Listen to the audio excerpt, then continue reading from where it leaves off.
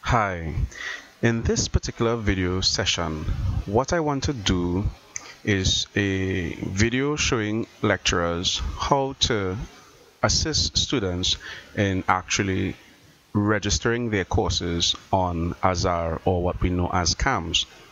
So let's first type in an ID number for the student.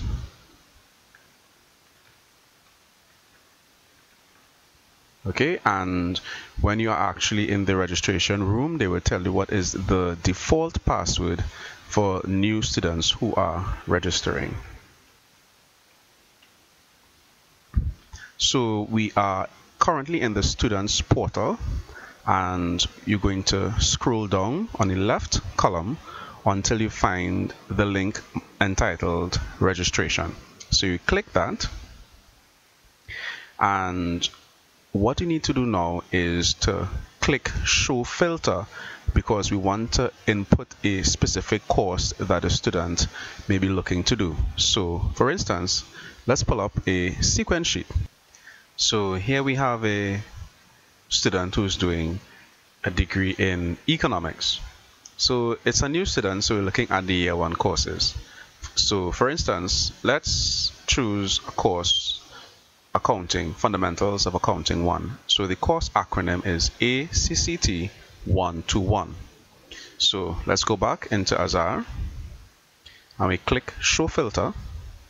So under Department, you will put the course code ACCT and under course number, you put what number it is, 121. After doing that, you would scroll down and you would deselect all of the campuses. All right so this checkbox here you can either select all or deselect all. So you initially deselect it because all is selected when you by default and you simply come to the main checkbox because you're looking at the courses offered by the main campus and then you put apply filter Upon clicking that, you scroll down, you see the course is CCT 121. How many groups are being offered? We see here two groups, group 1 and group 2, and how many seats are in each group. After the student decides which group that they may want to be in, based upon, of course, the date, whether it's a Monday, Wednesday class, and what time. This, this class is at 12.15 to 1.30, and this is also another Monday, Wednesday class.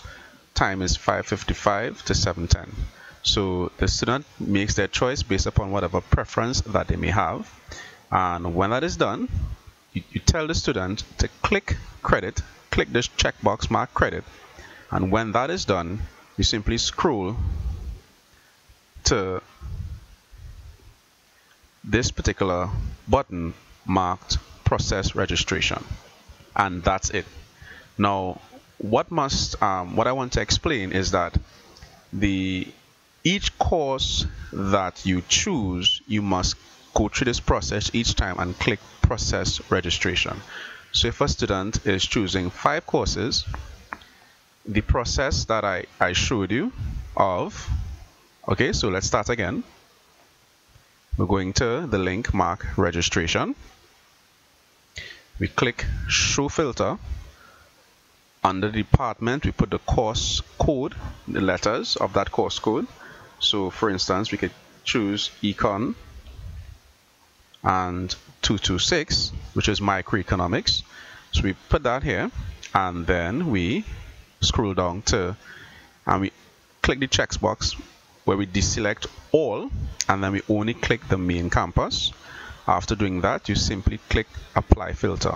When that is done and you scroll down, you see all of the principles of microeconomics courses that are being offered by the university in this semester. All right, we see three groups, group one, group two, and group three. 39 seats, 36 seats, and 44 seats. And therefore, the student is able to make a choice based upon the times that is based upon their particular preference.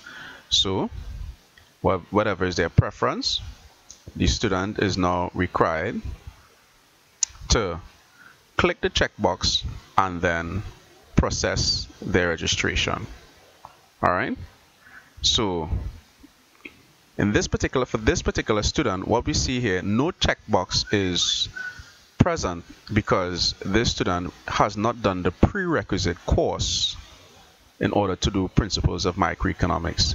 So we, in CAMS, if a student has not completed a prerequisite course, they will not be able to choose the course that they're looking to looking for. So we tell the student, well, if you do not have the prerequisite, then you click cancel and you look for another course. Show filter ACCT 121 scroll down you deselect all and then simply click main apply filter and because there are no prerequisites for fundamentals of accounting 1 you realize that the checkbox credit is there and therefore they can click that and then after clicking it they process their registration and then they continue this process until they have chosen all of their courses alright so this is the a video just showing you how to actually choose courses on CAMS um, I hope it has been um, understandable to all and that it helps you in assisting students during the registration process. Thank you very much.